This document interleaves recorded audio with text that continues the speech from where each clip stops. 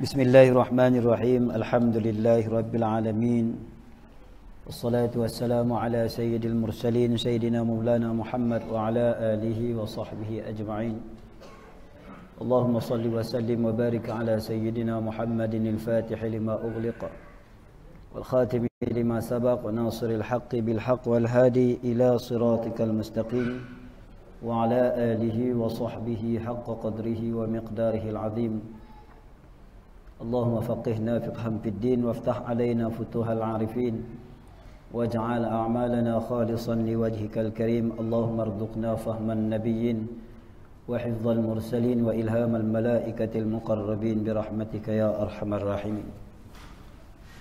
قال سبحانك لا علم لنا إلا ما علمتنا إنك أنت العليم الحكيم. ولا حول ولا قوة إلا بالله العلي العظيم.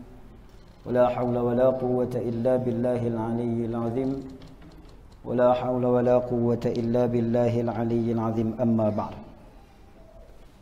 قال الشيخ المصنف رحمه الله ونفعنا به وبعلومه وبركاته في الدارين. آمين. رب يسر ولا تعسر. رب تمم بالخير. Muslimin muslimat yang dirahmati Allah. Muka surat Tiga. Kitab Jawi Kitab Rumi muka surat berapa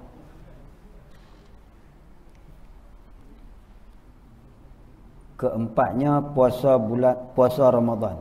Keempatnya puasa bulan Ramadan.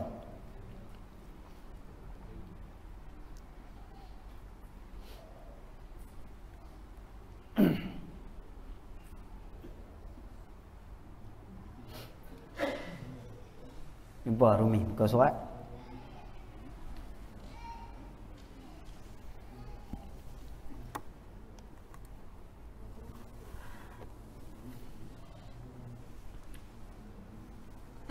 Jawi muka surat tiga. Kata Musannaf rahimahullah Keempat puasa bulan Ramadan Keempat daripada rukun Islam Lima rukun Islam. Puasa bulan Ramadan yang makna puasa habis sebulan. Bukan puasa selang-selang Kecuali bagi yang uzur lah. Yang uzur tu Sama ada daripada lelaki Ataupun sama ada daripada perempuan maka kalau dikirakan sebagai makzur syar'i maka dia dibolehkan meninggalkan puasa. Ada kala ketikanya ada kala ketika dia wajib untuk mengqadakan puasa ada ketikanya tak wajib hanya dibayarkan fidyah. Yang wajib dibayarkan puasa itu seperti mana orang yang meninggal puasa dalam keadaan dia tak mampu untuk berpuasa. Kerana dia kerja berat panas terik dan sebagainya khususnya bagi kaum lelaki maka diwajibkan atasnya mengqadakan puasa. Ada kalanya dia wajib membayar wajib mengqadakan puasa. Seperti mana orang yang bermusafir sebelum daripada keluarnya fajar waktu subuh maka harus baginya meninggalkan puasa serta wajib ia mengqadakan puasa. Itu dalam mazhab kita Syafi'i. Tapi syaratnya dia keluar musafir daripada negeri dan qaryahnya itu sebelum daripada masuknya waktu subuh. Dan di antaranya lagi yang diharuskan untuk tidak berpuasa itu ialah seorang lelaki yang ajus yang lemah daripada berpuasa maknanya yang lelaki yang tua walik kita kata lelaki tua lah 80 ke atas yang dia tak mampu nak puasa. Tapi zaman lah ni orang tua 80 90 puasa, yang tak puasa umur 20. Ha, waliknya lagu tu lah. Hak tua-tua ni kuat lebih daripada hak muda. Hak muda tu kuat kerana hak muda tu dia lekeh kerana nafsu dia kuat. Hak tua dia walaupun dia lemah tapi dia kuat kerana akal dia kuat. Roh dia kuat. Ha, tu kesedaran dia, keimanan dia, ketakwaan dia, dia usaha. Ha, setengah tu puasa lagi. Ha. Puasa lagi. Sampai ada di sebelah sana utara tu seorang tok guru, nah. Puasa hari-hari puasa. Hari-hari dia puasa lama mana dah 30 tahun dah dia puasa hari-hari. Bermujahadah menentang hawa nafsu dia. Pasal apa kena mujahadah nafsu ni? Pasal nafsu ni kuat. nafsu mata, nafsu telinga, nafsu lidah, nafsu makan, malah baca Quran, malah berjemaah. Ha tu tentang. Ha tu timbullah istilah mujahadah lawan hawa nafsu. Mungkin kalau tak ada nafsu nak lawan buat apa? Oleh kerana ada nafsu itulah yang kena lawan. Lagu mana lawan nafsu? Oi, nak mengaji ni tak syok ni. Kau syok duk mengaji baca kitab ni. Payah rumit. Nah, balik rumah syok lagi. Ha tu tak ada lawan lah. Jadi balik rumah tak ada tengok TV. Ha, bobel-bobel bobel sembang anak beranak. Makan nasi, lagi mayang Azhar Aisyah turun mayang Aisyah. Jadi nampak tahun tu ibadat lah. Tapi yang sebenarnya dia tewas dengan nafsu. Mana? Tak mengaji? Tewas lah. Tak mengaji. Lepas tu kata mujahadah. Ha tu. Jadi orang yang tua dia boleh menentang hawa nafsu dia. Lalu dia berpuasa. Sedangkan harus bagi dia meninggalkan puasa sekira-kira sekira-kira dia tidak mampu untuk mengerjakan. Tak mampu untuk mengerjakan. Ah. Kalau orang tua yang ajus lemah sakit tu terlentang apa semua tu. Ah, tak wajib qada, bayar fidyah saja. Alah. Kalau orang perempuan pula macam tu juga kalau tua apa itulah hukum dia. Tapi kalau perempuan yang muda yang masih ada tenaga, yang ada kekuatan, dia meninggalkan puasa itu dengan sebab suatu yang lain bukan dengan sebab diri dia ataupun dengan sebab dia bimbangkan apa yang akan terjadi pada diri dia ataupun pada kandungannya maka pada ketika itu diharuskan atasnya meninggalkan puasa serta diwajibkan atasnya itu dua perkara. Apa dia? Qada dan membayar fidyah. Qada pun wajib bayar fidyah wajib. Contoh macam perempuan yang mengandung ataupun perempuan yang menyusukan anak.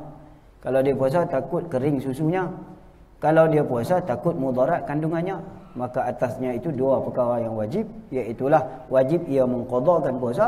Dan wajib juga ia membayar fidyah dengan hari-hari yang dia meninggalkan puasa itu. Serta fidyahnya itu tidak dibenarkan oleh syarak dalam mazhab kita syafi'i. Dalam mazhab kita syafi'i, fidyah-fidyah itu dimestikan memberi kepada tiap-tiap fakir miskin. Satu hari itu satu satu cupak itu satu fakir. Satu cupak itu satu fakir. Kalau ditinggalnya 30 hari berarti 30 fakir. Tak boleh pergi ambil 30 hari kena buang satu fakir. Tak boleh.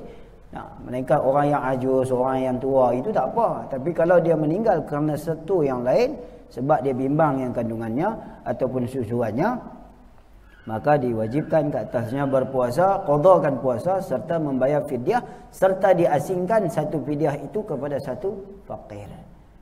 Tidak buat puasa. Sebab itulah Tok Guru Haji kata puasa ni kena sebulan. Bukan puasa bulan Ramadan. Tapi puasa bulan dengan mana sebulan. Puasa habis sebulan. Ha. Kita puasa Ramadan. Nama puasa? Puasa? Ha. Dulu masa saya duduk kerja. Oh rajin puasa. Mayang tak? Aku tak buat dah. Boleh tak puasa. Tak buat dah. Mayang tak.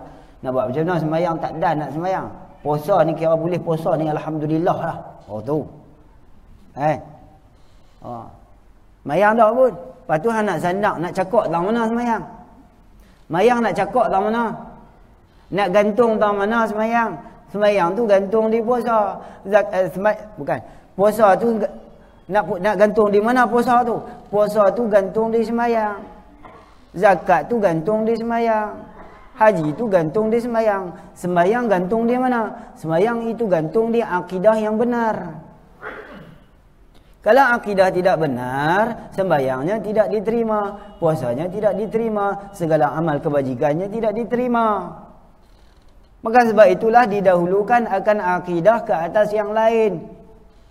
Dahulu bukan dengan makna bukan dengan makna yang lain tinggal dulu bukan. Dahulu maknanya yang diberati yang sangat-sangat penting dalam kehidupan manusia. Seperti yang dikatakan oleh ulama awwaluddin ma'rifatullah. Seawal-awal agama itu kenal Allah. Kerana tempat cakok dan tempat gantungnya segala ibadah.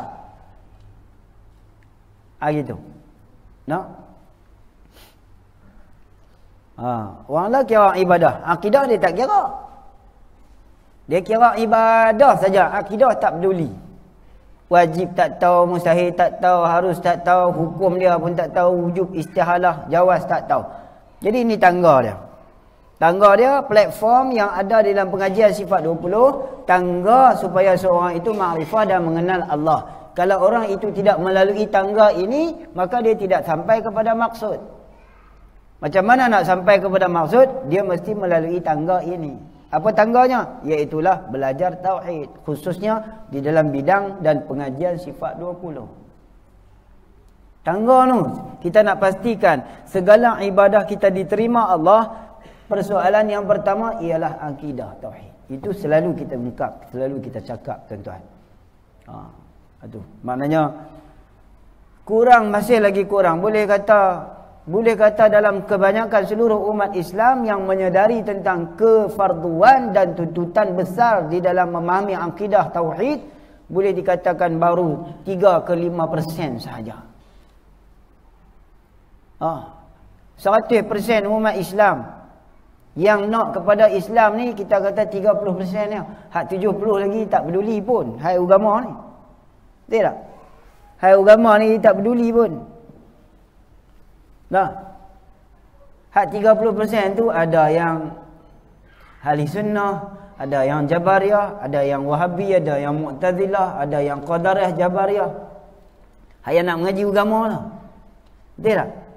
Hak yang nak kepada Islam ni, hak yang nak kepada agama Islam ni tak kira lah mana pun. Tapi dia nak kepada agama Islam. Dia jaga Islam dia, dia jaga mengaji ilmu, jaga semayang. Hak dalam tu pun pecah kepada berapa bagi dah. Betul tak? Lepas tu hak betul-betul ahli sunnah daripada 30% tu kita ambil lah 15%. 15% daripada 100% umat Islam, 15% tu yang ahli sunnah wal jamaah. Ahli sunnah wal jamaah ni maknanya dia betul-betul mengaji ahli sunnah wal jamaah. Dia betul-betul duduk dalam kelompok ahli sunnah. Hak yang yang selainnya itu yang 70% lagi tu bukan dia tak ahli sunnah wal jamaah, tapi dia tak peduli, dia Islam. Yang 70% lagi tu dia Islam, tapi tak apalah Islam nasab. Hak 15% ni hak ahli sunnah wal jamaah. Ada hak mengaji tak boleh, ada hak mengaji lena sambil mengaji tengah bersembang, tak peduli. Tak dapat ilmu. Nah, dia tak boleh dia tak boleh memahami hakikat ahli sunnah wal jamaah yang secara yang betul yang tepat. Kadang-kadang dia lawan guru dia. Kadang-kadang dia buat mazhab dia sendiri, dia buat pahaman dia sendiri. Hak ahli sunnah wal jamaah. Sehingga menyeleweng sehingga keluar daripada ahli sunnah wal jamaah pun ada. Jadi akhirnya sikit sangatlah kelompok. Dalam sikit tu pun Nabi kata hak lah yang banyak. Ha. Campur dengan hak yang 70% lagi yang tak peduli tadi. Nah, lebih baik hak 70% hak tak tahu apa dia Islam tu dia tak mengaji apa daripada yang jatuh dalam Jabariyah, Qadariyah, Mu'tazilah, Jahmiyah yang jatuh dalam Mujassimah dan sebagainya. Kerana mereka ini selamat Islam mereka walaupun muqallid. Tapi hak yang jatuh dalam Mujassimah bahaya kerana barangkali mereka jadi kafir insya-Allah. Mu'tazilah ada setengah mereka yang sesat. Syiah sudah tentu mereka sesat. Ada setengah yang kafir. Ada setengah yang tidak jadi kafir. Yang hak yang duk tak tahu apa, duk kira kerja siang malam ni, ah hak ni depa selamat. Selamat pasal depa tak jatuh hak ni. Tang depa tak kenal Tuhan, depa akan dipersoal di hadapan Allah. Ada. Ha tu. Jadi hak keempat ni puasa bulan Ramadan. Puasa bulan dengan makna puasa habis sebulan.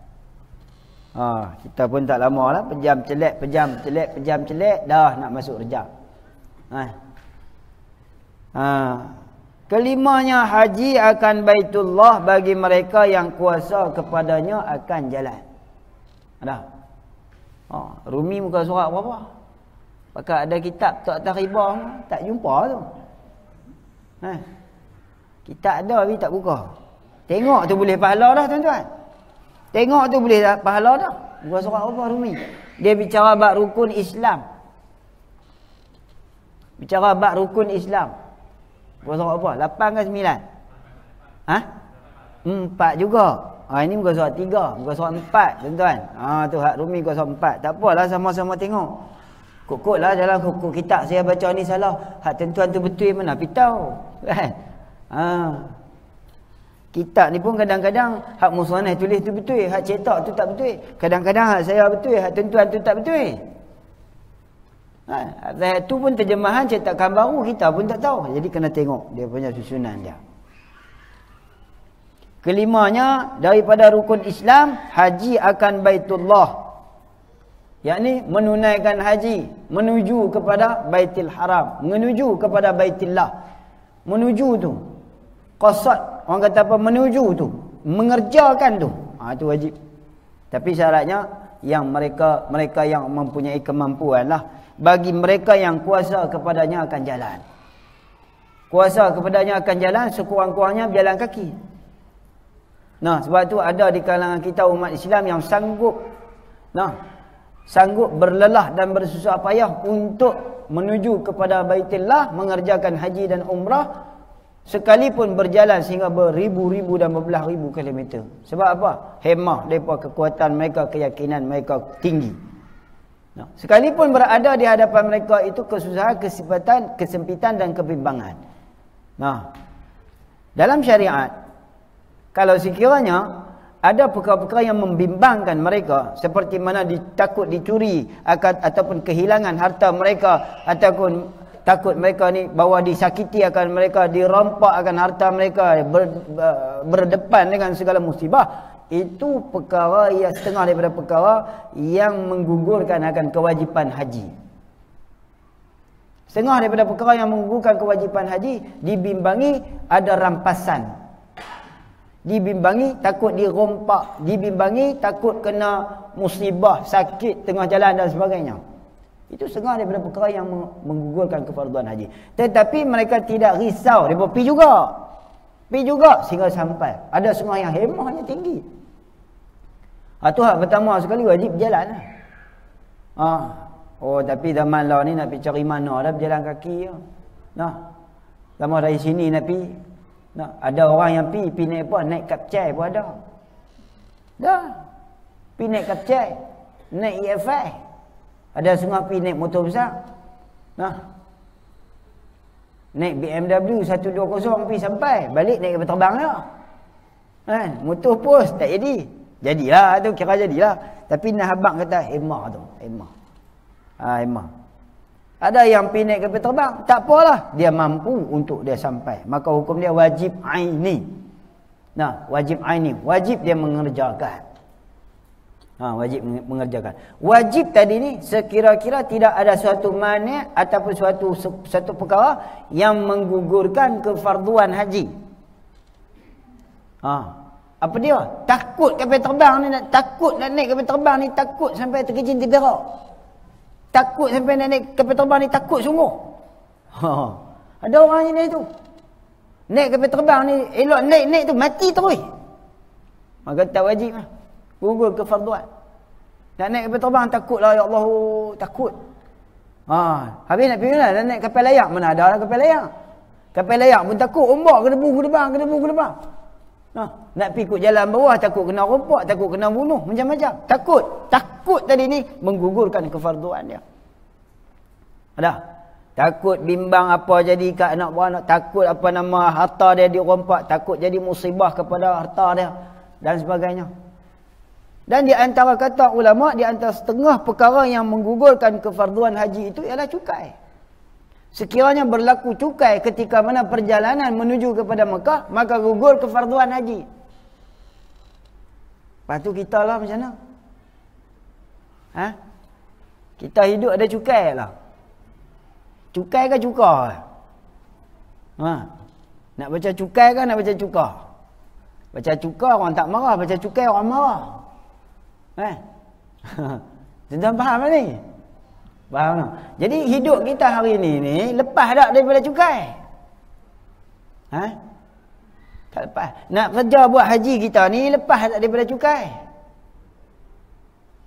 Eh, rasa-rasa tu. Nah, langkah tu cukai lalu dah. Ha, sebab itulah dalam mazhab kita Syafi'i salah satu daripada perkara yang menggugurkan kefarduan haji cukai. Ha tu, hak mazhab lain kita tak kira lah. Ha, kalau ada kira, kira lah mazhab Syafi'i, mazhab lain. Tapi kita mazhab Syafi'i.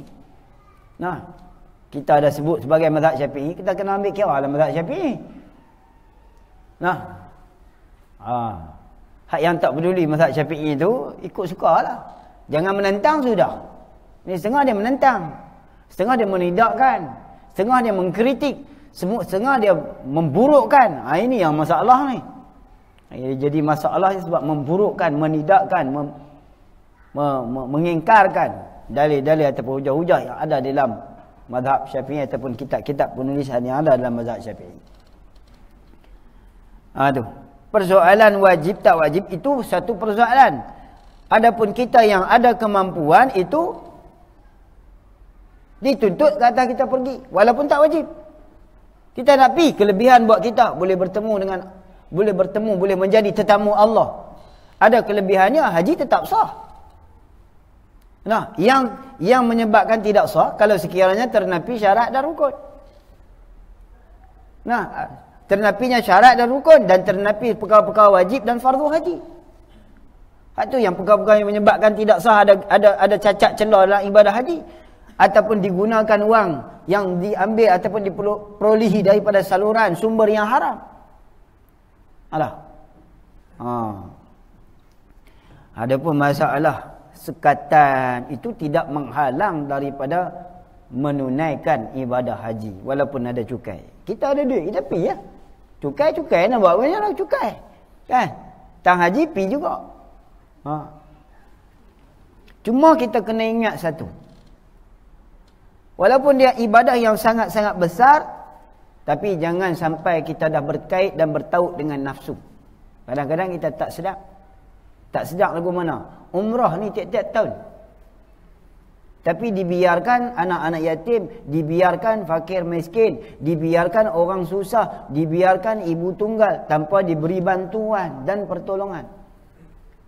Tapi haji umrah, oh selalu selalu puluh-puluh ribu. Itu orang panggil ibadah yang bertaut dengan nafsu. Ini kata tok guru kami. Nah, jangan jadi tertipu dengan ibadah yang kamu buat sehingga kamu menidakkan keperluan orang lain. Nah, ah tu. Dia pesan lagu tu lah. Kita duit banyak. Nah, duit banyak. Oh, sedia-sedia pi. Tapi kalau pi, alhamdulillah itu rezeki Allah. Rezeki Allah bagi. Kelimanya haji akan baitillah bagi mereka yang kuasa kepadanya akan jalan. Habis itu rukun Islam. Kata Musannaf rahimahullah bermula iman itu apa dia iman? Iman mana percaya. Kata iman tu apa dia? Membenar hati akan Nabi sallallahu alaihi wasallam dengan makna benar dan terima Iman ni benar-benar terima hati. Setuju, terima, benar hati, setuju hati, bulat hati untuk terima apa yang dibawa oleh Nabi sallallahu alaihi wasallam. Ah tu, ni yang kata iman ni. Rukun iman lah.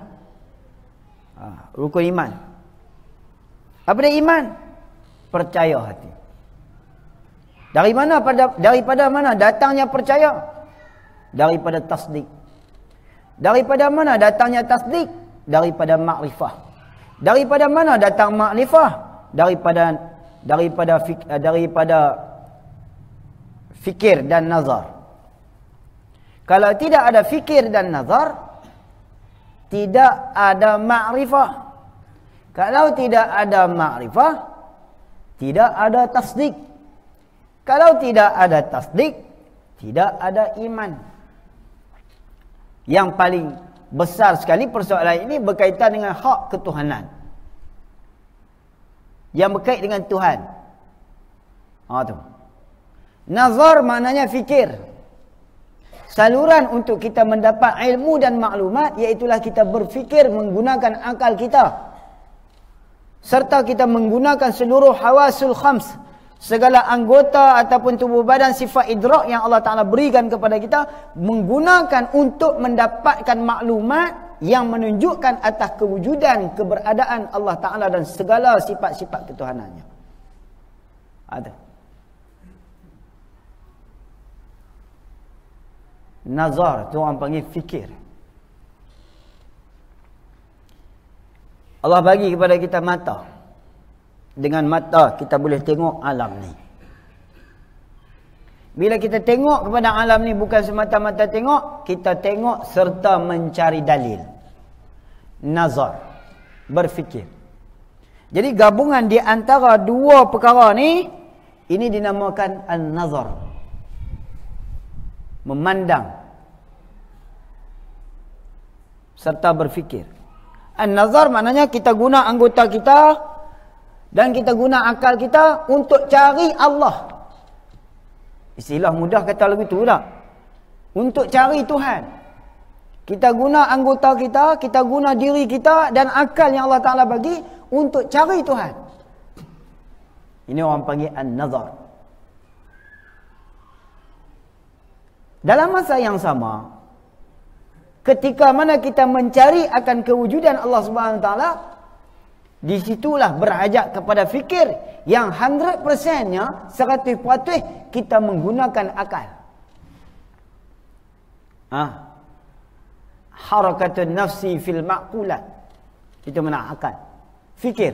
Fikirnya mana? Harakatun nafsi fil maqulat ketika mana kita berfikir hati kita bergerak-gerak mencari keputusan dan maklumat kita nak cari pengetahuan. Kita nak cari ilmu. Dan kita nak dapatkan makrifah ilmu tu. Ah tu. Tu orang panggil fikir. Di manakah bukti kewujudan Allah subhanahu wa ta'ala? Apa dia bukti ada Tuhan? Ha ni contohlah, contoh kan. Apa bukti ada Tuhan? Apa dia? Makcik-makcik di belakang. Apa bukti ada Tuhan? Cuba jawab tengok. Mudah ya tak? Baharu alam ini. Ha, dia jawab rapat tu. Mana bukti kata, mana, okey. Mana bukti ada Tuhan? Baharu alam ini. Okey. Kita pi sikit lagi. Kita pi atas sikit. Hati bawah sangat. Mana dalil kata ada Tuhan? Alam ini. Mana dalil, mana bukti kata alam ini sebagai dalil atas ada Tuhan? Baharu. Kan? Mana bukti kata alam ini baharu? Ha, dia pergi kan? Dia pergi setangga-setangga kan? Dia turun, turun, turun, turun setangga. Mana bukti kata alam ini baharu? Alam ini qadim ke baharu? Baharu. Mana bukti kata alam ini baharu? Apa dia? Makcik-makcik di belakang. Bukti kata alam ini baharu. Ha? Ha ni kata nazar fikir. Bukti kata alam ini baru. Apa dia? Ha, itu orang panggil berubah. Dulu tak ada lah dah. Itu orang panggil baru berubah. Ha tu. Dulu tak ada lah dah. Maknanya baru berubah. Jadi cerita dah mana bukti kata Allah ada, Tuhan ni ada, alam ini. Mana dalil bukti kata alam ini jadi dalil atas wujud Allah? Baru. Mana dalil kata dia baru? Dulu tak ada Allah ada. Maknanya dia berubah. Sekurang-kurang berubah, timbul daripada tak ada kepada ada. Mana dalil kata alam ini berubah? Pula dah. Mana dalil kata alam ini berubah? Satu contoh saja. Duk terbungkin depan mata kita. Apa dia? Ha. Mana bukti kata alam ni berubah? Ya, siang malam. Mana bukti kata siang malam? Mana bukti siang malam?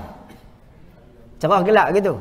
Tuan-tuan, jawapan dia aku ni. Kalau orang tanya, mana bukti siang malam? Ubat dia kayu tiga tengah dua atas kepala dia. Bengong tak ada dah. Sampai ada siang malam nak cari dalil bukti. Siang malam tak kena cari dalil bukti. Nah, hal dia, kelakuan dia tu dah nampak depan mata. Takkan abang matahari tenggelam timbul, tak gaduh dah. Hak tu bangsa nazar, bangsa nampak. Sebab tu kita kata guna mata, guna anggota. Ini orang panggil gabungan di antara hawas dan juga akal untuk dapat wujudnya Tuhan. Daripada situlah akan jadi akan jadi ilmu makrifah dan dari situlah akan tasdik kita benarkan kewujudan Allah disebabkan khabaran daripada Nabi sallallahu alaihi wasallam serta dari situlah akan memuncak keimanan kita terhadap Allah. Sebab tu iman kita ni berbeza-beza. Kerana kita merasakan nilai iman itu daripada kewujudan Allah Taala itu berbeza-beza. Iman kita iman orang awam tidak boleh menyamai orang yang sedikin, Orang yang siddiqin itu tidak sama dengan orang yang arifin. Orang yang arif orang yang orang yang orang yang orang yang al-fana'u billah, orang yang baqa'u billah, martabat mereka tak sama. Kerana apa? Dari segi sudut keimanan, tingkatan iman itu tidak sama. Tidak sama. Mana boleh sama? Nah. Oh, tu ustaz-ustaz tu guru iman pun hebat. Siapa kata? Siapa kata? Ha? Kerana apa? Kerana iman itu Bukan dinilai tempat nilai iman itu ya iman itu asalnya berasaskan kepada ilmu. Ilmu dia itu iman. Tapi ulama kata iman itu kadang-kadang naik, kadang-kadang turun. Yang naik turun itu ialah iman yang terjadi daripada amalan ibadat yang dilakukan oleh seorang. Sebab tu kata ulama iman itu terkadang timbul, terkadang rendah, kadang hilang, Nah, al-iman qad yazid wa yanqus. Orang yang berzina, Nabi kata, ketika dia berzina terlucut imannya. Macam mana ketika dia berzina terlucut iman? Adakah ketika dia berzina dia jadi kafir? Tak, dia tak jadi kafir. Dia tetap Islam, tapi macam apa Nabi kata terlucut imannya? Ha. Nak abang waktu tu hilang sifat takwa daripada Allah, bukan bererti dia dia kafir. Nah, keyakinan dia terhadap janji Allah, siksa pahala Allah itu hilang. Waktu tu. Tuhan tarik waktu tu.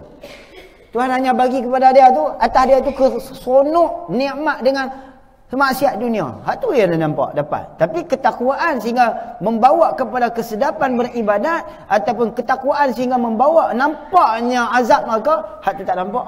Tuhan tak bagi dia. Ha. Jadi iman. Bab ni pun panjang lebar ulama bahas. Jadi sebab itu Allah Taala anugerahkan kepada kita akal. Maka akal inilah tempat kita membuat keputusan, akal dan nafsu. Tempat Allah Taala Allah Taala nak azab kita ketika mana kita melakukan kesalahan dan Allah Taala nak memberikan kepada kita nikmat kita ketika kita melakukan kebajikan iaitu bersumberkan kepada dua ni iaitu akal dan juga nafsu. Ha. Nak bersumberkan, bersumberkan kepada dua ni, akal dan juga nafsu. Kalau tidak ada akal, maka hilang. Nah, hilang taklif. Tak ada dah nak ambil kira dosa apa lah. Tapi oleh kerana ada dua ni dan ada permata ilmu iaitulah mata ataupun juga telinga, dua anggota ini masih lagi ada ataupun salah satu daripada dua anggota ni masih ada pada manusia dan sempurna akal serta ada nafsu, maka ketika itu dia diambil kira dan tindakan dosa dan pahala. Ini orang panggil taklif. Ada. Ada mau ada taklif. Nah, jadi bermula iman itu membenar hati akan Nabi. Benar dengan makna terima bulat hati akan Nabi sallallahu alaihi wasallam. Oh, menentang Nabi kafir. Tidak mengaku ke, ke kenabian Nabi dan kerasulan Nabi sallallahu alaihi wasallam kafir. Oh, ni berat eh. Jadi kafir. Membenak hati akan Nabi sallallahu alaihi wasallam. Benak dengan segala umanah yang dibertanggungjawabkan kepada Nabi sallallahu alaihi wasallam. Makna setiap apa yang Nabi sampaikan kepada kita daripada amanah yang ditanggung oleh Nabi daripada Allah Taala, setiap itulah yang perlu kita terima. Berdasarkan daripada sifat amanah, maka Nabi tidak pernah melanggar segala perintah Allah Subhanahu Wa Taala. Tak pernah Nabi susut dan sembunyi hukum, tak pernah Nabi menyatakan yang tidak sebenar, melainkan semuanya yang datang daripada Allah. Itu orang panggil umanah. Umanah itu terhasil daripada sifat amanah. Ha. Kata ulama, amanah itu yang wajib kita percayai. Adapun segala sifat Nabi itu amanah, fatanah, syirik dan fat dan tablik. Itu Nabi. Sifat yang ada pada Nabi yang menunjukkan atas Rasulnya, syirik, amanah, fatanah, tablik. Adapun memada dengan kita mengakui dengan amanah yang ada pada Nabi menunjukkan atas syirik, fatanah dan juga tabliknya Nabi SAW. Kita faham Nabi ni seorang yang sangat-sangat amanah dengan Allah Ta'ala. Maka dari situlah zahir pada Nabi sidik dia. Bila ada amanah berarti dia benar. Bila ada amanah berarti dia tidak menyembunyi hukum Tuhan. Bermakna ia menyampai dan mentablikkan hukum Tuhan. Ketika mana dia menyampaikan hukum Tuhan, sudah tentu dia mempunyai kebijaksanaan. Hanya daripada amanah. Sebab itu, amanah yang ada pada Nabi, kalau dijiwai oleh umat-umat baginda Nabi SAW, akan menaikkan martabat seseorang itu di sisi Allah. Tapi amanah hanya tinggal pada nama. Hmm. Nah. Nah. Amanah hanya tinggal pada nama, amanah hanya tinggal kepada nama parti, amanah yang ada pada sebutan tetapi tidak ada kepada perilakuan. Perlakuan. Kita mau Allah sebut. Sebab itu Nabi kata idza wusidal amanah ila ahliha fantadhir sa'ah. Sa'ah di situ bukan makna kiamat. Tetapi sa'ah berarti kehancuran, tidak tertunai amanah yang diberatkan ke atas orang yang dia tanggung. Betul ya? Nabi kata, "Idza usidal amanah apabila diberikan amanah kepada orang yang bukan ahli. Kita nak lantik orang jadi bendahari. Dia ni jahil bab duit kupang ni. Tak reti nak kira bab duit ringgit ni. Nak kalau zaman moden lah ni orang panggil apa? Access apa? Access tak access. Nak buat akaun tak reti kuning gini. Kalau zaman dulu tak apalah pakai manual lah, tulis tangan keluar masuk, kredit debit dan sebagainya. Tak apalah boleh juga. Tapi jenis tak kira nak nak bagi dia lagi nak bagi nak nak lantik dia sebagai orang yang menguruskan kewangan padahal dia pencuri tak jadi fantasi risang nak lantik jadi tu imam baca fatihah tak betul rosak habis nak menjadi suami tetapi tidak ada tanggungjawab Ha, kalau bahasa Kedah, tergedik-gedik nak menikah, nak jadi bini. Oh, tapi lawan laki kuat dah. Ini tak jadi ya tu. Lah, contohlah. Ha, tidak ada amanah. Hatta kita sebagai seorang hamba Allah, amanah kita dengan Allah. Amanah kita dengan Allah apa dia? Iaitulah janjian kita dengan Allah Ta'ala dahulu. Pertamanya, untuk menjadi hamba Tuhan dengan mentauhidkan Allah. Lepas tu merealisasikan janji kita dengan menunaikan ibadat. Tak pun. Tak mana. Nabi kata fantasi sa'ah. Berarti kata ulama dalam sahih Bukhari, di dalam apa nama Fatul Bari, ala syarih Bukhari, dia kata, itulah antara salah satu daripada alamat akan berlakunya hari kiamat dan kehancuran kepada suatu urusan Setengah daripada alamat yang berlakunya hari kiamat apabila amanah itu tidak ditunaikan. Ha. Apa tu? Dari segi sudut kepribadian diri sebagai seorang muslim, rumah tangga, masyarakat, negeri, negara dan seluruhnya. Kalau tidak ada amanah, fantaziri sa'ah itulah antara alamat yang akan berlakunya hari kiamat ha. bahkan pada ketika itu sa'ah maksudnya kehancuran nah matlamat yang nak dicapai tidak akan tertunai dan tidak akan tercapai. Melainkan semuanya hancur binasa. Tidak ada apa-apa. Ah tu dia. No tak tahulah. Itu cara saya lah. Orang lain tak tahu dia bahaya kot lain pula. Nah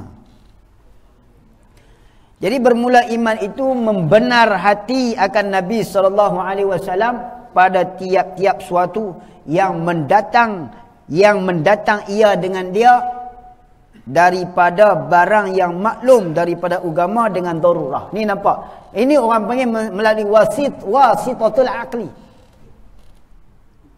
akal yang Allah Ta'ala berikan kepada kita menuju kepada dua urusan iaitulah menerima agama itu dengan secara daruri dan menerima agama itu dengan secara nadari akal yang Allah Ta'ala berikan kepada kita bukan semata-mata beri bukan semata-mata anugerah bukan semata-mata mengangkat darjat kedudukan kita sebagai seorang manusia tapi ada matlamat dia matlamat dia untuk kita menerima dan mengikut agama Islam Ima atas jalan daruri, ima atas jalan nadari. Maka akal ini dia menuju kepada dua. Seperti yang disebutkan oleh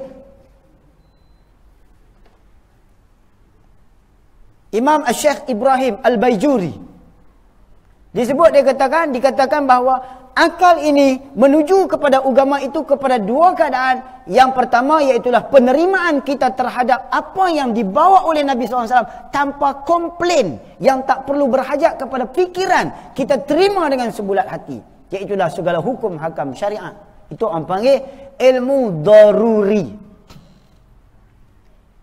Ilmu daruri kita terima sebulat hati. Tak perlu kita fikir. Terima bulat-bulat. Nah, Tebatannya wuduk, kena ambil wuduk. Kita duduk dalam keadaan berhadas, mandi wuduk. Berjunuk, mandi. Apa nama, dalam keadaan hadas, kita mengambil wuduk. Kalau berjunuk, itu mandi. Nah. Kalau tawah tu, kalau nak nak buat haji tu tawah. Kok ni. Pasal apa tak tawah kok ni? Tak duk tanya tu kerja Tuhan. Pasal apa sa'i tak, apa nama, tak mula daripada marwah, mula daripada sopa. tu kerja Tuhan. Kita jangan duk tanya hak tu urusan. Maknanya ilmu daruri penerimaan sebulat hati kita terhadap Allah. Nah, tu tak boleh soal. Dia tak perlu fikir.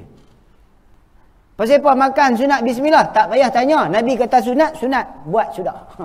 Maknanya benda daruri kita dituntut buat. Tak payah tanya. Kan? Benda daruri ni orang panggil tauqif penerimaan kita daripada Nabi SAW. Benda tauqif dah. Kita tak boleh nak ubah. Nah. Kalau berkahwin, halal jalan depan, haram jalan belakang. Pasal apa haram? Jangan tanya pasal. Nak buka kitab ulama, nak cari mana kau dhaif yang kata boleh diambilkan manfaat isteri daripada jalan belakang. Ada? Tak ada. Tak ada khilaf satu habuk pun. Kau nak cari oh ni kalau kata takut daripada zina boleh ke? Tak boleh.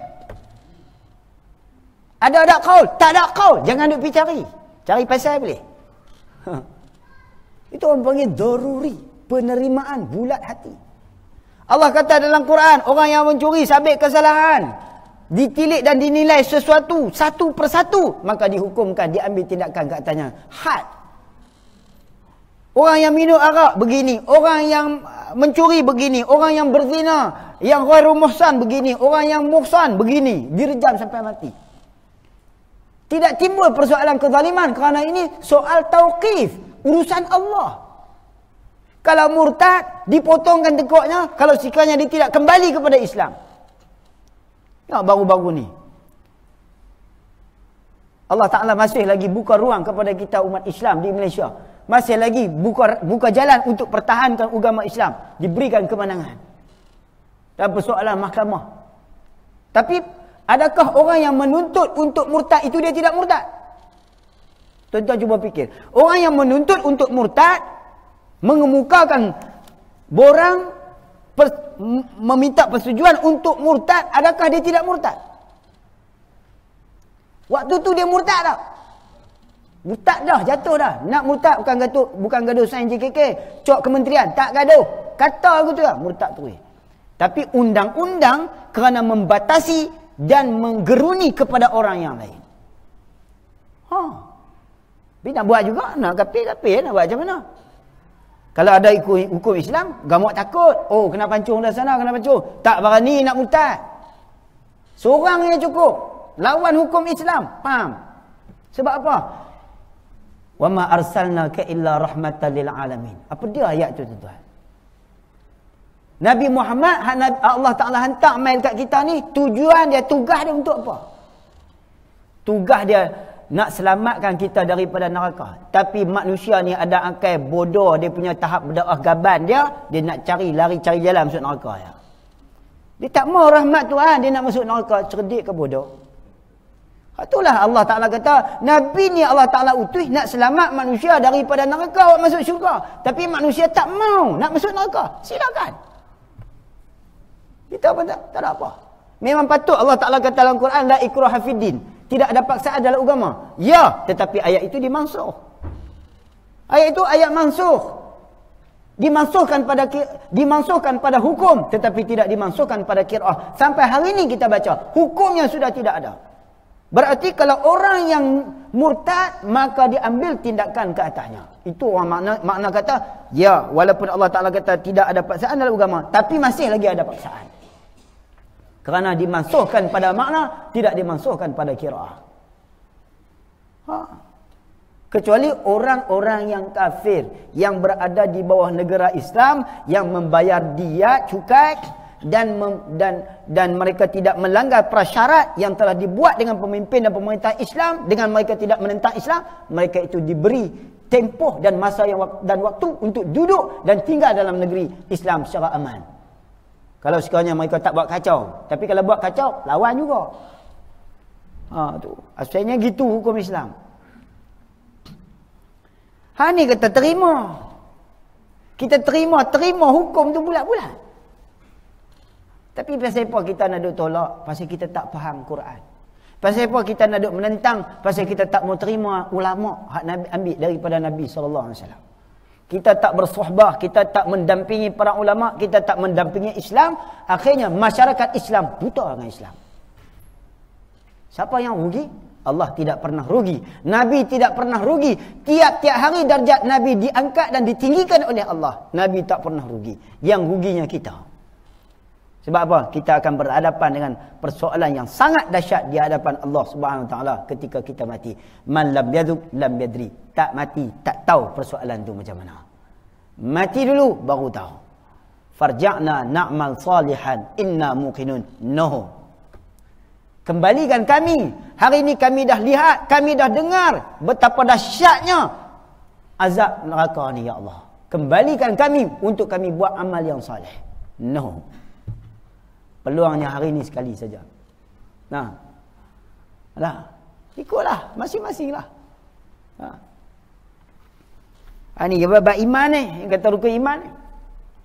Ha, sebab itu tuan-tuan, Jangan lupa setiap tindakan gerak-geri kita ada hukum dan ada persoalan yang akan disoalkan di hadapan Allah. Ar-ridha bi syai' ridha bima yatawalladu minhu. Kita redha dengan sesuatu maka akan apa-apa yang terjadi selepas daripada persetujuan kita kepada sesuatu itu berlaku maka kita diambil tindakan daripada sebab sebab kita bersetuju dengan sesuatu itu kaedah yang disebutkan oleh ulama. Ar-ridha bil kufri kufrun war ridha bil ma'siyati ma'siyatun. Ar-ridha bima ya, ar-ridha bisyai' ridha bima yatawalladu minhu. Itu kaedah dalam fiqh. Berhati-hati di dalam menentukan ataupun di dalam membuat sesuatu keputusan. Karena Tuhan tidak akan biarkan kita tanpa persoalan. Melainkan semuanya akan diberikan ganjaran ataupun balasan. Ha, tak tahu ano. Bermula iman itu membenar hati. Ha tu kata balik kepada fikir akal tadi ni. Akal ni dia pergi kepada dua. Satu ilmu nazar, ilmu daruri. Yang keduanya ilmu nadhari. ilmu daruri dia lebih merujuk kepada syariat. Syariat mana perundangan Islam. Perilaku kita sebagai seorang Islam, tindakan kita daripada sekecil-kecil, daripada kita awal mula balik sampai kita mati itu dinamakan daruri. Yang kedua ilmu nadhari iaitulah akal kita. Kata kalau kita mengamalkan Islam, ya. Dia maju. Betul khawatir syaitan. Fitnah syaitan. Akal yang sudah dibelok, diganggu, dikotori oleh syaitan. Siapa kata tak maju buat Islam? Nah, ini soalan mautnya ni. Nah, soalan ni maut ni. Ha. Nah. Saya pun biarlah tuan-tuan faham sendirilah.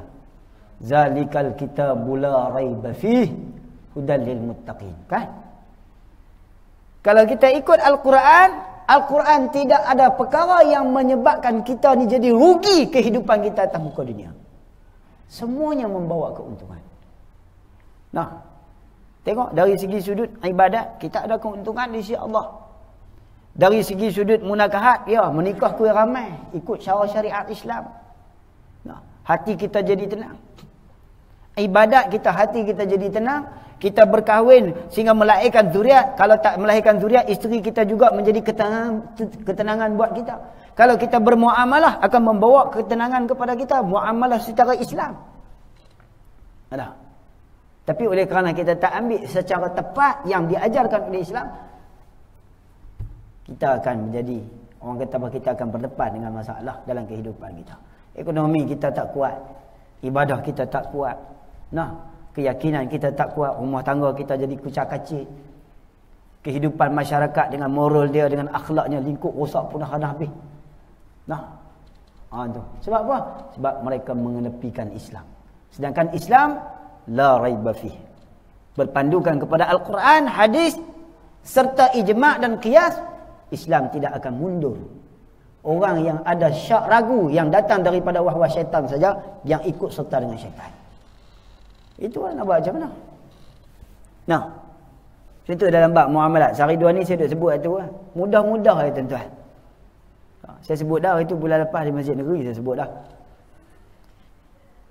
Siapa yang tak biasa makan di restoran? Semua orang boleh kata makan di restoran betul tak? Tak kira lah restoran mamak ke restoran kedai petani ke fast food dah. Cuba kita tengok. Apa beza fast food dengan restoran masakan Thailand ke masakan Melayu ke? Kita tengok dari segi sudut muamalat dia. Ada beza tak tuan-tuan? Kita ambil satu contoh macam berlaku hari tu di Kuala Palih dia bawa habis anak beranak dia tiga lapis empat lapis habis satu meja kumpul-kumpul order-order makan. Siap-siap makan sampai bil terkejut. Seribu lapan ratus. Lepas tu bergaduh dengan tuan kedai apa hal ni mahal sangat ni? Salah siapa? Salah siapa? Salah siapa tuan-tuan? Ha? Salah dua-dua sekali. Tuan kedai dengan orang yang makan. Ha. Salah dia tang mana? Tang mana salah? Ha? Ha? Ya, tidak ada persetujuan. Innamal bai'u antaradin. Baik, bila kita masuk ke restoran, selalunya tom yam lah. Kalau tuan-tuan tak percaya, tuan-tuan pergi kedai petani, tuan-tuan hantar, dia hantar uduk, tuan-tuan uduk-uduk-uduk, tuan-tuan, dia hantar makanan depan tuan-tuan tu, tuan-tuan suruh dia kira dulu nak bayar. Ha, mungkin dia akan jadi pelik satu. Sebab orang tak nak buat macam tu. Tak apa, tak apa, makan dulu. Sekejap lagi bayar dekat kaunter. Dia akan kata macam tu. Kalau restoran besar-besar. Tapi itu tidak menempati Islam. Hak asal Islam jual beli innamal bai'u antaradin sudah tentu pastinya ditahukan harga. Nah. Jadi bila kita makan, kita makan hak siapa? Hak orang, hak orang boleh makan tak? Boleh makan haram. Wala ta'kulu amwalakum bainakum bil batil. Jangan kamu makan harta orang secara salah. Bagaimana yang betul? Sama ada dibayar secara tunai di dalam majlis akad ataupun ditahukan akan harga itu kemudian diberikan harga nilainya ataupun ditahukan harga itu dibayarkannya secara bertangguh, yakni hutang. Ataupun hebah bisawab. Hebah bisawab kita makan dulu, sekali kita pergi bagi duit kat dia, jangan komplain apa. Itu apa hebah bisawab. Tapi pasal apa komplain? Kerana tidak ada persetujuan. Maka tidak sah, berdosa. Adakah dia main bagi makanan tadi hebah semata-mata? Kalau hebah semata-mata, kita makan-makan tak kereta balik. Adakah macam tu? Dia ligan tak dengan paham bekot dia tu? Pasal apa? Pasal suruh bayar. Berarti di, itu, di situ ada muamalah. Ada urusan jual beli. Kita tak buat. Yang kita buat hak mana? Kebanyakan kita buat hebah bisawak. Sebab tu kalau kita tengok restoran fast food, dia mengamalkan Islam. Beli serta apa? Bayar. Kedai mama dia mengamalkan Islam. Mana? Oh, nah, nah, nah, nah, nah, nah, apa itu? Kita pun tengok, okey, sekejap lagi gua bayar. Hutang. Sudah tahu harga. Kedai petani, kalau dia kira apa, bagus juga ada yang kira. Dia kira-kira-kira, tapi dia dia pelekukkan harga tu. Kita tak tahu harga. Hampir pelekuk buat apa? Aku nak tengok harga. Betul tak tuan-tuan? Muamalah apa ni? Tak ambil hak Islam. Ha, tak, tak dah kalau kita tengok, kita tak makan. Wih, apa mahal doa ni? Oh, tak mau tak mau ambil beli eh. Ha, dia takut tu. Sedangkan persetujuan tu dua belah pihak. Tapi muamalah apa? Tak apalah kalau kita pergi pasar raya tu mana ada pernah akad pun. Makcik-makcik pergi beli sayur, pergi beli barang-barang pernah akad lah. Tak apa, dia tet tet tet tet tot, tet tet tet tet tot, naik agar kena. Ha, kita pun tengok, dia pun tak habang agar, masing-masing boleh tengok dah. 280 tengok barang se baru sekat troli 280, hmm, tak apalah. Nah, bayar. Itu orang panggil bayangul mu'atah dalam mazhab syafi'i, qadha'if, diterima. Kalau yang muktamadnya diangkat jual beli, mesti ada ijab dan qabul. Qa Hak tu kita tak buat. Hak dhaif pun kita tak tahu cara. Nah. Makan di kedai mamak dia tulis harga dulu. Okeylah tak apa tulis harga satgi aku bayar. Nah. Ha, kalau pi buat kedai tadi, ha, dia pelik eh.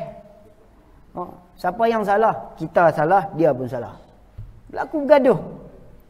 Gaduh. Apa mahal ke dia Tak mahal ke mana hang hang hantam order jenahak tiga ekor, siakat tiga ekor. Kerang bakar lagi, ketam lagi. Udang lagi, lepas tu nak kena bayar mahal. Agak-agak lah. Ha. Viral pula tu. Ha. Tapi tuan-tuan beringat, makan sana. Ha. Kalau duk cakap, eh, eh, pasang kena semelih. Sebab pergi beli baju pedam sak. Ha. Ha. Ha. Kalau pergi pedam sak, hari Ahad, hari Sabtu, cakap kod dia.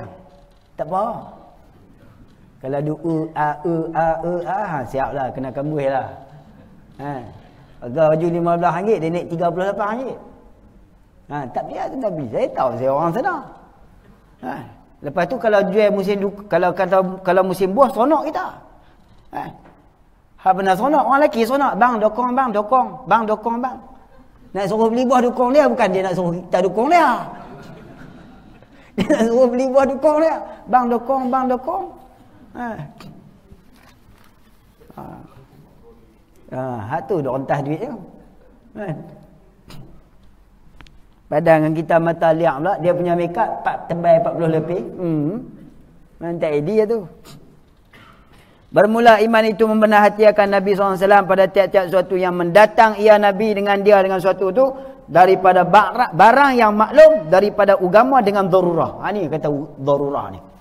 Darurah ni apa dia? Tengok. Dan dikehendaki dengan ha dia tak cerita lagi ni. Ha tu nombor tiga di luar. Ada tak nota kaki dalam dalam kitab Rumi. Eh. Ha, tiga. Ha tu, bawah sekali kalau kita jawi bawah sekali. Apa dia makna darurah? Bermula barang yang maklum daripada agama dengan darurah, artinya barang yang diketahuikan daripada segala dalil agama sebagai pengetahuan yang masyhur antara segala ahli agama hingga menyerupai dengan darurah itu. Artinya ketiadaan fikir dan bicara. Makna darurah ni tak payah fikir. Terima bulat-bulat. Betul tak? Eh, banyak urusan Islam terima. Pasal apa sembahyang maghrib tiga rakaat, tak dua rakaat? Pasal apa subuh tak boleh tak boleh khasar? Nah, kawan saya hari tu kan dia mai tunjuk ada satu kitab ada satu kitab dekat ada satu kitab pekah kami pondok duk mengaji ni. Dia kata weh maghrib boleh qasar ni buat dua rakaat. Ni hang tengok ni. Macam macam oh sungguh ah pi bawa kitab jumpa tok guru. Dia gelak tok guru gelak. Dia kata gini mugi cari dua buah kitab lagi mari aku nak tengok. Cari tak jumpa ada satu kitab tu eh? Tak edih Anak, tu orang panggil dhaif mardud, ditolak. Walaupun ada yang kata tapi ditolak, tak boleh qasar dah, maghrib tetap tiga. Nak qasar tak boleh. Jamak tak apa. Itu orang panggil daruri. Terima bulat balat, bulat. Tak payah duk timbul soal pasal apa? Pasal apa keluar lepas subuh tak boleh tak boleh tinggal puasa? Pasal apa keluar lepas apa nama sebelum subuh boleh tinggal puasa? Pasal apa? Tak payah tanya. Ulama dah tetapkan hukum, ikut saja. Itu orang panggil daruri. Kemudian kata Musanah rahimahullah, oh eloklah cukup dah sejam. Jam tu kecoh, kena kena ubah tuan-tuan. Ha, kau tuan-tuan saja memang nak bagi lajak sikit. Ha, tapi ada dah tengok dua tiga orang pasal ikut mata duk tengok jam. Ha, saya kena berhentilah kalau tuan-tuan tengok jam. Alamat awal kena. Kata kata Musannaf rahimahullah dan dikehendaki dengan membenar itu mengaku hati dan menerimanya, mengaku tu bukan mengikut, mengaku. Dalam kitab Rumi dia kata apa? Mengakukah mengikut? Dan dikehendaki dengan membenar itu mengaku hati. Hak saya topik daripada pengajian ni mengaku hati, bukan mengikut hati. Boleh juga kalau mengikut pun. Jadilah takat tu kata Musannaf dan dikehendaki. Tanda orang tu marah, no? Wallahu a'lam. Ada soalan? Tak ada lah. Habis? Ada? Ha. Haji yang... Ya. Ada, melambut hu. Mu'tazilah ni melambut. Kadang-kadang tak sedap kata dia Mu'tazilah pun ada. Mu'tazilah ni kenalnya kita kenal ahli sunnah. Bolehlah kenal Mu'tazilah. Kita mengaji ahli sunnah ni pergi kenal. Dalam tu ada cerita pasal Mu'tazilah ni macam mana. Antara Mu'tazilah yang kritikal zaman hari ni. Antara yang yang jelas-jelas berani lantang suara yang menyebut. Baru-baru ni ataupun 2-3 tahun lepas dia sebut. Perkataan antara perkataan mereka wa in kuntum illa waridha wa in kuntum illa waridha kana ala rabbika hatman maqdiya itu persoalan apa? Persoalan sirat. Sirat bukan siratal mustaqim. Sirat. Sirat itu di dalam merhak kita ahli sunnah wal jamaah satu jambatan yang dilintangkan daripada yang dilintangkan di atas neraka menuju kepada syurga. Tapi mu'tadilah kata bukan itu sirat yang dilintangkan. Maksud sirat itu ialah laluan untuk menuju kepada mahsyar itu mu'tazilah itu salah satu yang keduanya mu'tazilah ialah mereka mengiktikadkan bahawa Allah Taala itu hanya menetapkan dan mengerja menentukan menetap dan menentu dan menjadikan yang baik-baik saja perkara yang buruk buruk itu bukan kejadian daripada Allah yang baik itu daripada Allah, yang tidak baik itu daripada saya sendiri, itu Mu'tazilah. Lihat. Tapi beradabnya dengan Allah itu sunat. Macam guru-guru kita kadang-kadang yang baik itu daripada Allah, yang tidak baik itu daripada salah diri saya sendiri. Itu adab kita dengan Allah dapat pahala. Tapi kalau diiktikadkan Allah Ta'ala tidak menetapkan kufur kepada seseorang, Allah Ta'ala tidak menetapkan maksiat yang dilakukan oleh seseorang, maka itu mu'tadilah. Kita baik buruk iman kufur Allah. Ha, tu. Nanti dalam bab qada dan qadar insya-Allah kita akan perjelas secara terang masalah tu. Tak sampai lagi baru kita masuk rukun iman. Ha. Ya bahaya. Banyak mu'tadilah banyak bahaya. Mu'tadilah. Dia pasti. Dia dia tak kafir, dia sesat. Tapi yang duk jadi kafir ni Masalah qada qadar ni sebab apa? Sebab dia mengiktikad bahawa Allah Taala itu mengetahui sebahagian dan tidak mengetahui sebahagian. Kalau saya buat persoalan, ada ada atas muka dunia ni Allah Taala tak tahu? Ada ada yang jadi dan berlaku atas permukaan alam ni aras kursi langit bumi ni Allah Taala tak tahu? Tak ada, semua Allah Taala tahu betul tak? Ada ada yang berlaku atas muka dunia ni Allah Taala tak tahu? Allah Taala tak kendak? Ada tak yang berlaku atas muka dunia alam ni, langit bumi ni? Allah Ta'ala tak kehendak. Ada tak? Bukan kehendak Tuhan. Ada tak? Ada tak? Tak ada. Lepas tu nak tanya satu. Abu Jahal kapiak kehendak siapa? Ha. Abu Jahal kafir ke tu kehendak siapa? Ha. Kehendak siapa tuan-tuan? Kehendak? Kehendak Allah kan? Kalau kehendak Allah, pasal apa Allah Ta'ala buh dan neraka? Ha? Kehendak dia kan. Lepas tu dia buah neraka. Zalim tak Tuhan? Awak tak pergi jadi Abu Jahal jadi Islam baru masuk syurga. Eh, pasal apa jadi kapiak masuk neraka pula? Eh Abu Jahal tahu kalau kata kan Nabi pi telaga badar, Nabi kata Nabi panggil seorang-seorang. Nabi dengar Abu Jahal apa semua segala kawan-kawan kapiak dia tu ada bunuh dia tahu dalam telaga badar. Nabi dengar depa duk teriak. Minta balik mai ke Tuhan tak boleh. Eh Nabi kata betul dah aku dah kata kat hangpa dulu. Betul tak aku dah kata kat hampa, hampa tak mau, hampa bantah dengan aku. Hari ni hampa kena siksa, betul tak? Ha. Jadi kalau kalau macam tu awal Allah Taala tak kehendak masa depa hidup jadi Islam, semua orang masuk syurga ke semua, tak payah masuk neraka. Persoalannya, kapiaknya Abu Jahal itu kehendak siapa? Ha, ni dia dia menimbulkan was-was. Kehendak siapa? Nanti kita tunggu pada perbicaraan qada dan qadar. Wallahu a'lam. Nah. Ha. Subhanakallahumma bihamdik asyhadu an la ilaha illa anta astaghfiruka wa atubu ilaik. Bismillahirrahmanirrahim. Wal 'asr. Innal insana lafi khusr illa alladhina amanu wa 'amilus salihat wa tawassaw bil haqq wa tawassaw bis sabr. Bismillahirrahmanirrahim. Alhamdulillahi rabbil alamin. Wassalatu wassalamu ala sayyidil mursalin sayyidina Muhammad wa ala alihi wa sahbihi ajma'in. اللهم علمنا ما جهلنا وذكرنا ما نسينا. اللهم أغننا بالعلم وزينا بالحلم وأكرمنا بالتقوى وجملنا بالعافية. اللهم فقهنا في الدين وعلمنا التأويل. واهدنا صراطك المستقيم. اللهم اجعل جمعنا هذا جمع المرحومه وتفرقنا من بعده تفرقا معصوما. وصلى الله على سيدنا محمد وعلى آله وصحبه وسلم. والحمد لله رب العالمين. تقبل الله منكم. Tuan-tuan muslimin muslimat yang dirahmati Allah. Seperti biasalah saya mengalu-alukan sumbangan daripada tuan-tuan.